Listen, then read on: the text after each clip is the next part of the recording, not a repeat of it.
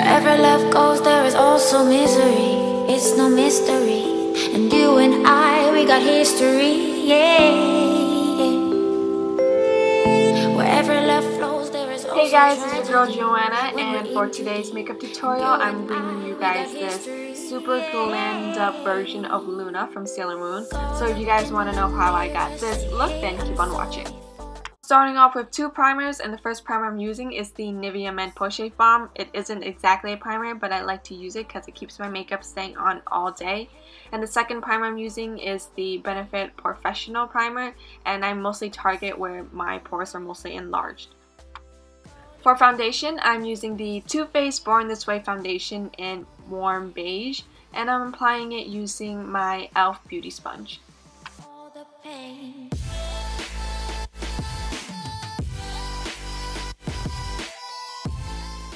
So I'm going to conceal up a little bit, and I'm using the Amazing Cosmetics um, Concealer in medium golden, and I'm, I'm just applying this like wherever I feel like I need to conceal, of course. And then I'm going to go ahead and blend that out using my e.l.f. Beauty Sponge.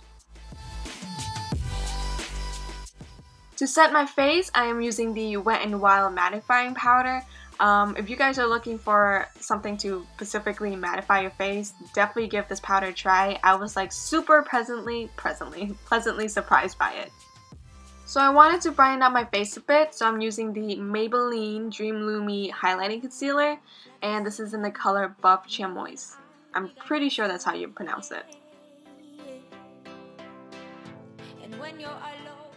To contour my face, I am using the Anastasia Beverly Hills Foundation Stick in the color Fawn.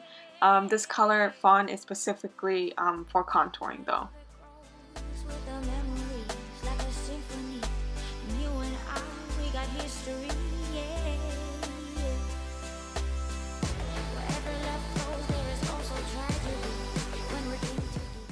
To deepen up my contour, I'm using the Benefit Cosmetics Hoola Bronzer and I'm just applying this wherever I contoured, which is like the hollows of my cheeks and the sides of my jaw. Next, I'm going to bake my face and I'm using the Cody, um, what's it called? The Coty Airspun Loose Face Powder. And I'm just applying this where I specifically like highlight it slash conceal my face.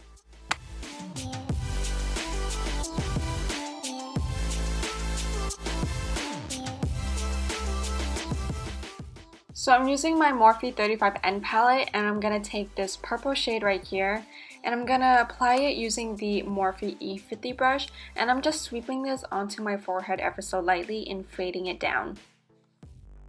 Next, I'm going to take this darker purple color and with the same brush, I'm doing the exact same thing, sweeping on from my hairline and fading it down towards my brows.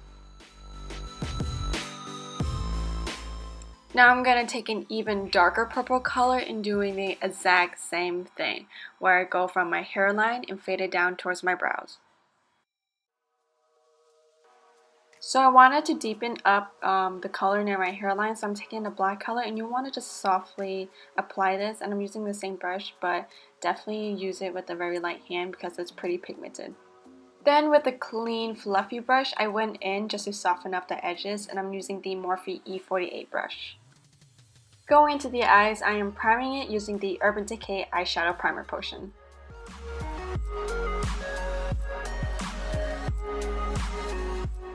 With the same Morphe 35N palette, I'm going to use my Morphe E28 brush and apply this like light beige nude color and basically setting this all over my lids.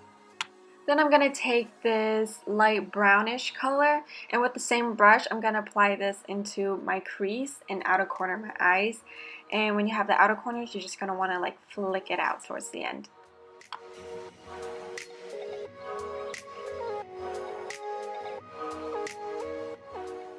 Again, with the same brush, I'm going to take this purple color and apply it into my crease and outer corner of my eyes. And again, when you get to the outer corner of your eyes, make sure you just want to do some kind of like flicking motion.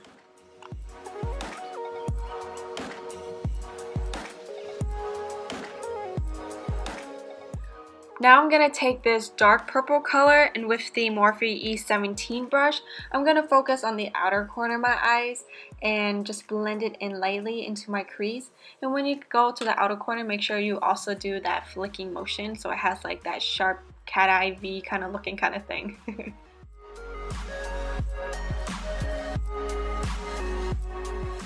Next, I'm going to use this ColourPop Cosmetics Super Shock Shadow in the color Dance Party. These are their like new glitter kind of shadow. I don't really know how to specifically call it, but I'm just applying it using my fingers and I'm just putting this all over the center of my eyes. So we're going to finish under the eyes and I'm taking my Morphe E24 brush and we're going to take that purple color, then the dark purple color, and then the color Dance Party from ColourPop and apply this all under the eyes.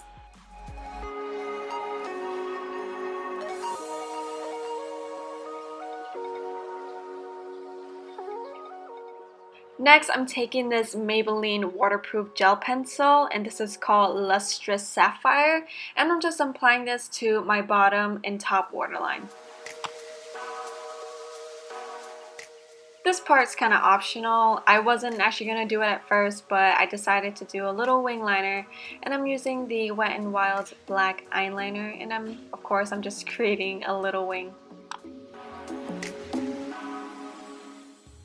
To finish off the eyes, I'm just applying these lashes from Dodo Lashes and these are the style D303. Now I'm going to go back to the face and apply some blush. I'm using the Wet n Wild Color Icon Blush in Rose Champagne and I'm applying it using the Wet n Wild Blush Brush. And then I'm going to take this ColourPop Cosmetics Super Shock Cheek highlighter and this one is called Over the Moon and I'm applying it using the Morphe M509 brush.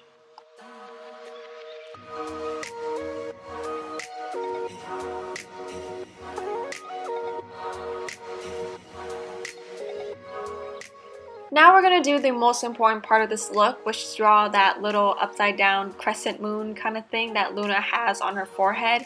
And we're going to use the NYX Glam Liner in 24 karat gold. And you definitely want to take your time on this because this liner dries really quick, so it's kind of hard to erase any mistakes you make. Then I'm going to outline under my brow, and I just like doing this because I think it's cute, honestly.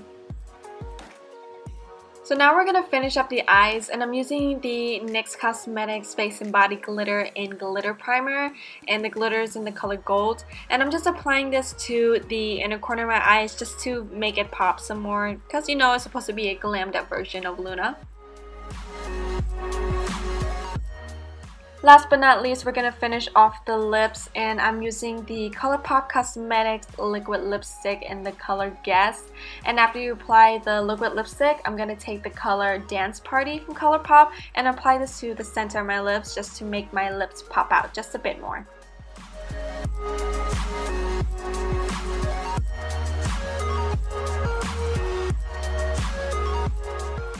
So now we're going to do our hair and I'm taking these cat ears that I got from Charlotte Russe like a while ago and some black pipe cleaners and I'm just going to take the pipe cleaners and wrap it around the ear part of the headband and I'm doing this so that when I wrap my hair around it, it my hair is definitely going to stay in place.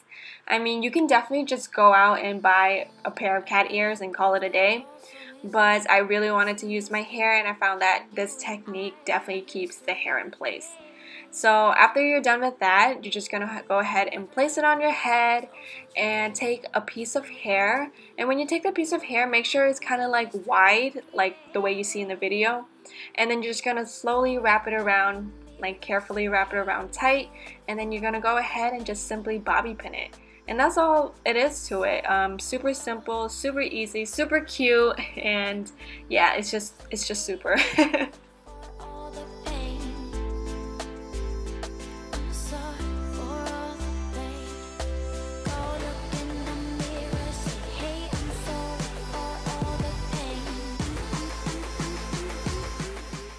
and this is the finished look. I really hope you guys like and enjoyed watching me doing this glammed up version of Luna from Sailor Moon. I really enjoyed creating this look. But yeah, I hope you guys like this video. If you like it, definitely give me a thumbs up and subscribe. I hope you guys enjoy your Halloween and again, thanks for watching.